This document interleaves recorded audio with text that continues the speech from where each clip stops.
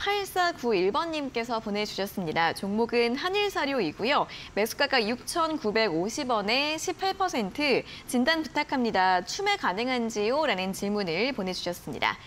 자, 한일 사료 오늘 종가 5,070원으로 마감을 했습니다.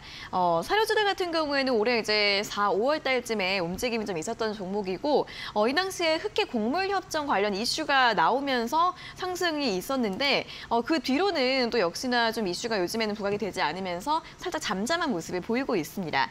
어, 지금 추가 매수 가능할지 어떻게 보실까요, 전문가님? 맞아요. 이 종목은 말씀해 주셨듯이 이슈에 의해서 움직인 음. 종목이죠. 아무래도 이제 뭐 우크라이나 전쟁이 지속되거나 아, 또는 이런 움직임들 때문에 어, 사료값이 폭등을 하면서 움직이는 모습이었는데 사실 지금은 에, 그런 움직임들이 이어진다 하더라도 주가에 반영이 잘 안 되는 경향들이 있습니다. 아무래도 한번 움직였던 테마이기 때문이다라고 볼 수 있을 텐데요.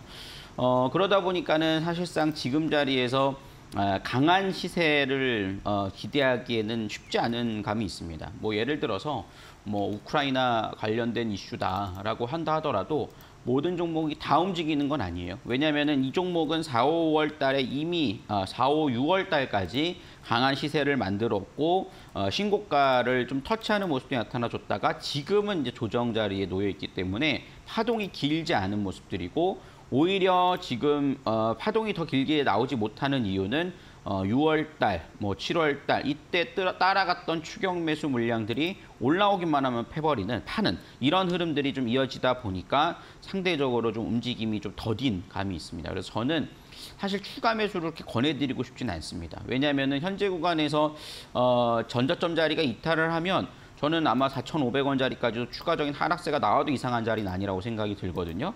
그렇기 때문에 오히려 추가 매수를 하시기에는 조금 쉽지 않을 것 같고 그러자 그러면은 평단가를 못 맞추고 매수가를 그냥 기다려야 할까? 근데 지금 시청자님께서 갖고 계신 매수가가 거의 지금 박스권 상단 구간이에요. 그렇기 때문에 이 자리까지 다시 들어온다라는 게 쉬운 일이 아니거든요.